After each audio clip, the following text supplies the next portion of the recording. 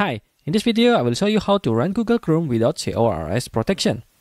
If you're a web developer, you probably has experience with CORS error when you are testing the front end and the API with different domains. So for example here, I have an application, a very simple one, which is uh, fetching data from a local API. When I try to run it, it has uh, error it's saying access to fetch uh, localhost from origin has been blocked because cross allow origin header and so on. So if you want to bypass this, you can do it by opening Chrome with special arguments. The first one we're gonna try on macOS. To open Google Chrome on macOS without CORS protection, you can do it by terminal. First, you tap open minus n application Google Chrome app.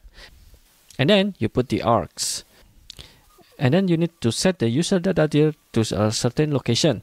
In my case I will just put it on home slash chrome dev data. The last one is to just add the disable web security argument. Okay so let's try to open it. It will open a new instance of Google Chrome. And then you can use it without the CORS protection.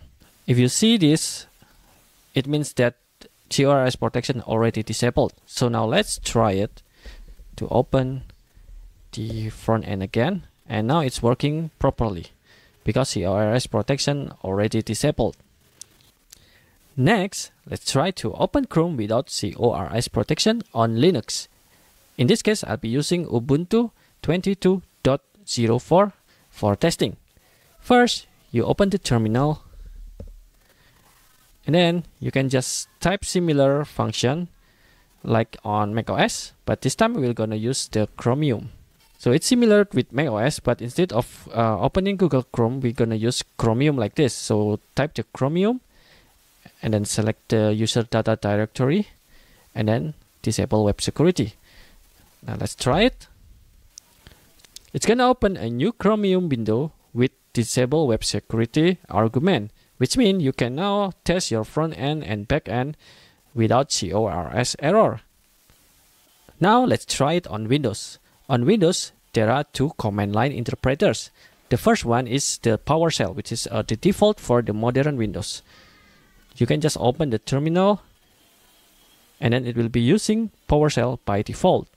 To use the PowerShell, we need to type dot first and then space and then you enter the installation location of Google Chrome, which is on program files.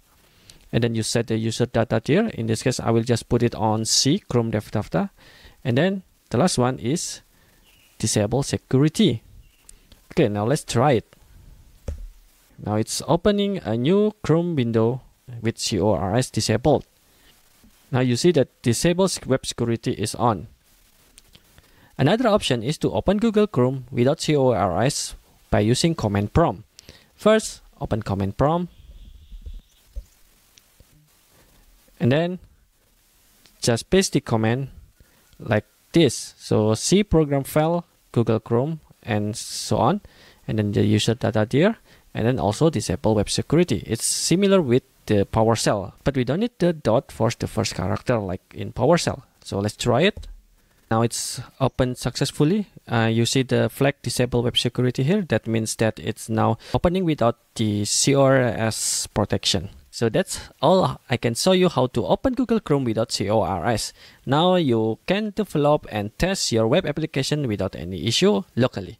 Of course, you need to change your code to handle CORS in production, but for testing and development, it should be enough.